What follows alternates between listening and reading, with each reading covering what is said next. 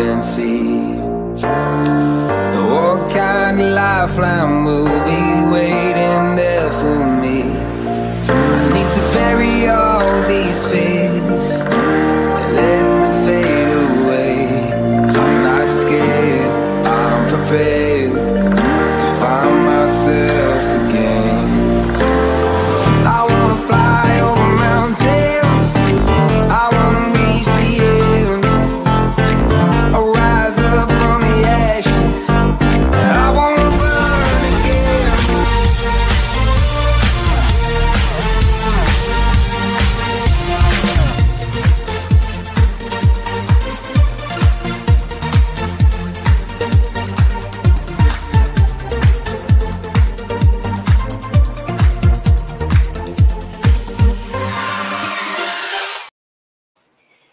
Hey everybody, so I'm going to discuss Pepita Madalyn Redhair.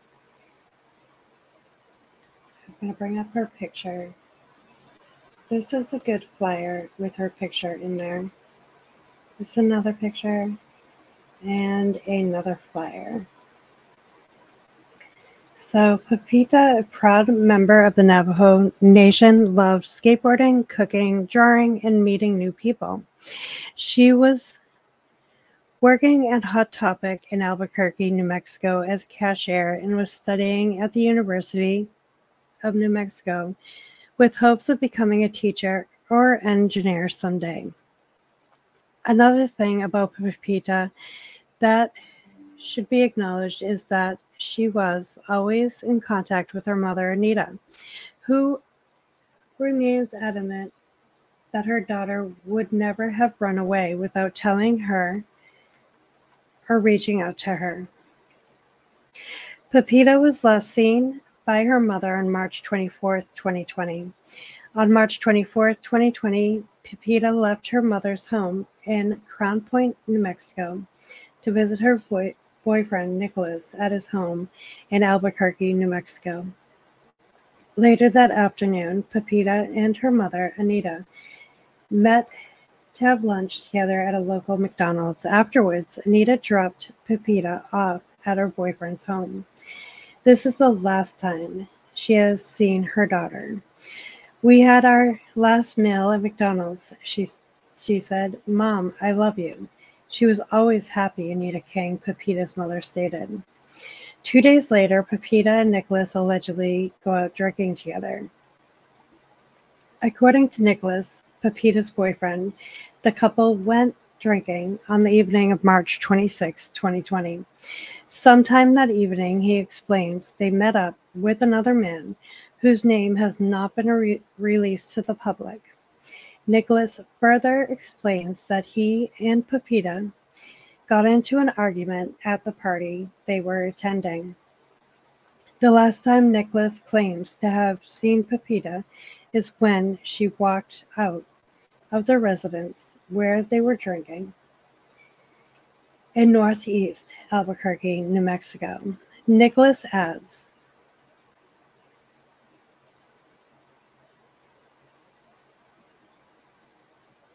Hold on one second. Nicholas adds, however, alleges that Pepita texted him the following day to inform him that she was with another man. Nicholas believes that this man is the same man from the party the night before. This is the last time anyone has been in contact with Pepita. None of these events have been confirmed by authorities.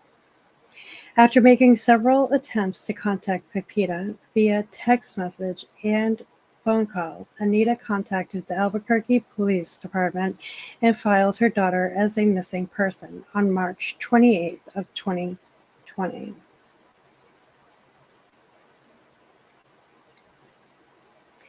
Two days later, Anita received a text message from Pepita's phone.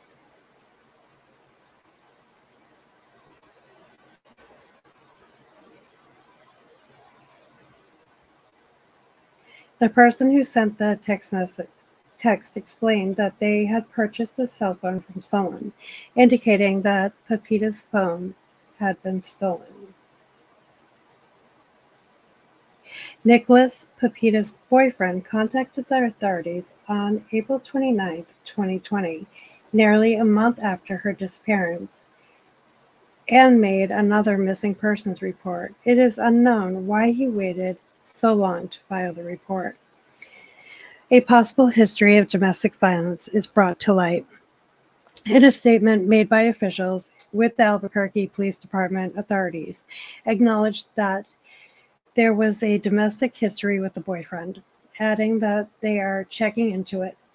They also state that even though the case had gone cold, they are working on following up on new leads. Anita remains adamant that Pepita never would have run away without telling her.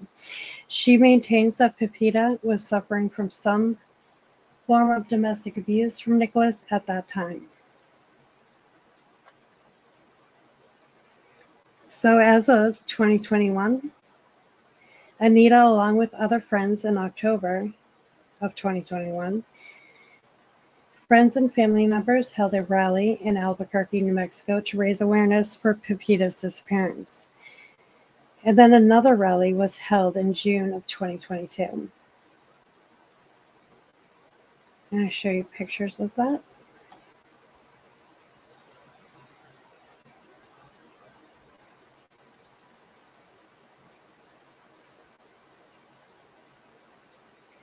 This is pictures of what the rally would have looked like. Pictures of the rally that day. So MMIW means Missing and Murdered Indigenous Women. And that's people, friends and family rallying for Pepita right here.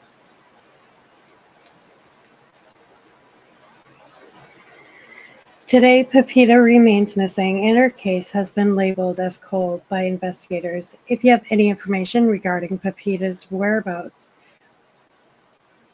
of her disappearance, please contact the Albuquerque Police Department at 505 242 2677 or the New Mexico Department of Public Safety Missing Persons Hotline 800 457 3463. All I want for my family, my daughter, we want closure. Anita King, Pepita's mother stated. At the time of disappearance, Pepita was described as a 27 year old Indigenous woman with brown hair and brown eyes. She stood five foot one inch tall and weighed approximately 141 pounds. Pepita has two moles on her chin and a scar on her left eyebrow. She has the following tattoos a moon with a lightning on her left leg, a butterfly on her shoulder, a dinosaur on her right forearm, her last name Redhair, somewhere on her body, and either a koi fish or dinosaur on her left forearm. She went missing March 27th of 2022. She was born August 4th, 1992. She's 31 years of age. Date of incident, 27 years old. Native American, Indigenous woman, female, 5 foot 1 inch tall, 141 pounds, and brown hair.